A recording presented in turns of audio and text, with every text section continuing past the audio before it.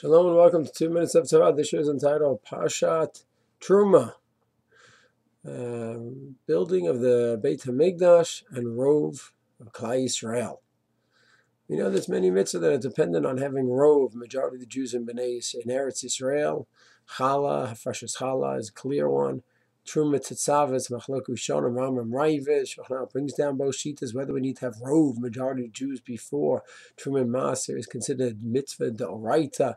From here of Yamini, we have almost 6 million Jews now within a few years. We hopefully will have Rove, be a very, very exciting time. Shemitah means more than just Rove. According to many poskim, need to have Rove. Uh, we have to have the Shvatim, everyone in their place on their own Shevet, their own land. So that's going to take some time. Hashem, that also will come quickly. Uh, what about building the Mikdash? The building of the Mikdash, is that dependent on Rove? Simple pshat is uh, there's no connection. Yet the Sefer HaChinuch says just that. In Parshas Truma, Sefer HaChinuch says that building the Beit HaMikdash depends on Rove.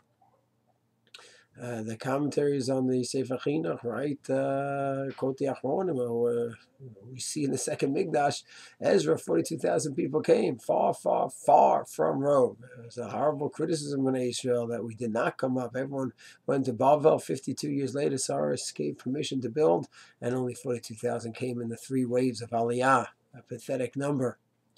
So he didn't have Rove. So if he didn't have Rove, so what does this chinuch mean? Some, some may answer, well, it's Harashah. Hashem said, build a Mikdash. And that's it. And it's not dependent on Rove. Harashah, Hashem can make an exception to the rule, obviously, like he does in other times. Uh, others want to say, Rishuma Kuna wants to say a very interesting idea. And the Yiturei Torah quotes it on Pashas Truma Vasuli Mikdash. He writes that the Jews were invited to go back up. The Nevi'im invited them to go up. Yirmiyahu said that within 70 years we're going to have it built. And it was pretty clear that uh, this was not a permanent exile in any way. It was very, very temporary, exile in Bavel. The Jews were invited by the Nevi'im to go back. They knew they're supposed to be going back, and they ignored their, the invitation. And then, in such a case, the Jews who did go back, so they're the ones who are counted in. And those who did not go back lost their ability to be part of the count. It's a very novel idea, a very big chiddush. Would this apply to today? Here we are patiently waiting for Rove. Would anyone ever say, well, the Jews haven't come yet, then they don't count? Uh, I don't think so. First of all, the chinuch, I don't know if that's a psak regarding building Beis Hamikdash. I don't know if we accept that whole idea of the chinuch to begin with. And even if we did, and we you accept the Yeshua Kotner's ex, explanation to defend the chinuch of how they built the Mikdash without Rove, it could be there. There are clear invitations from the Nevi'im. Uh, now, over here, I think it is Pshia.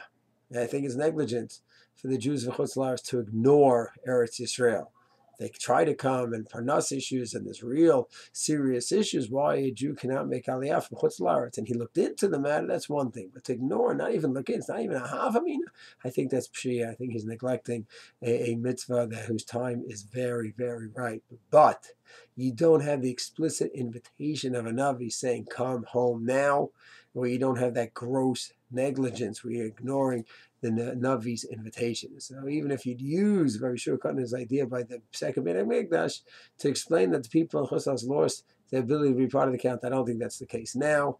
We are eagerly waiting for all of our holy brothers from around the world to come home, and we cannot wait till Mitzvah Hashem. We have Rove, the majority of the Jewish people in Eretz Israel, and all those mitzvahs that are affected by Rove will then become Doraita. Shalom.